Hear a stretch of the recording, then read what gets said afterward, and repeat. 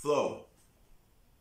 What is it? Flow is when the challenges in your life are equalled in force or in quantity by the talents you as an individual possess. So you don't actually feel overwhelmed in what it is that you're doing. You're driven from coasting along into a sort of jet stream of production with full clarity and creative powers.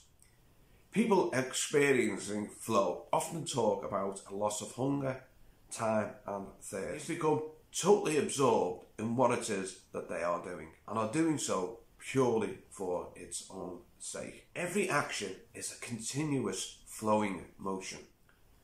As the subconscious mind takes over and your body responds accordingly, how may you recognize flow? Well, I talk from the perspective of looking at someone externally.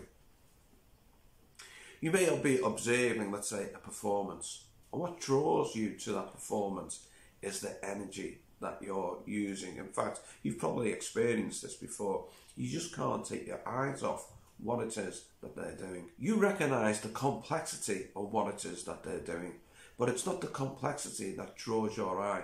In fact, it's the simplistic way they do the performance, but you recognize the complexity within the simplicity of their performance, and you understand that it's not easy what they're doing, but what they are doing is making it look easy.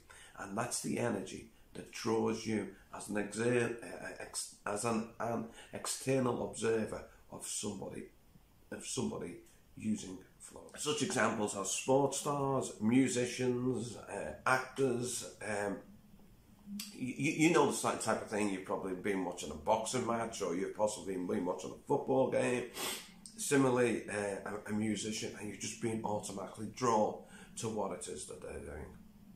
That's how to experience flow from a, someone externally looking at somebody in flow. But what about internally? What is it that you feel when you're in flow? Internally experiencing flow, you're going to be challenged. But although you're challenged, you have the capability and the capacity to equal the challenge that's before you. And it's that challenge that you find rewarding in itself. It's not the repetitive processes, it means that someone's stretching your ability and your capability. And it's knowing that you have the knowledge that every time you're stretched, you have the ability to overcome what it is that you're doing and that is to be in flow because you're continually losing your, in your, losing yourself in your own ability to be able to deliver what it is that you're trying to overcome. And that's exactly where the the joy comes from in what you're doing. Not that you need plaudits or people to recognize what it is that you've done, but it's the realization that you were challenged and you had it within you to overcome. And that's what feeds that joy within you. That provides the joy, the experiencing that then moves you forward again. And that is to be in flow.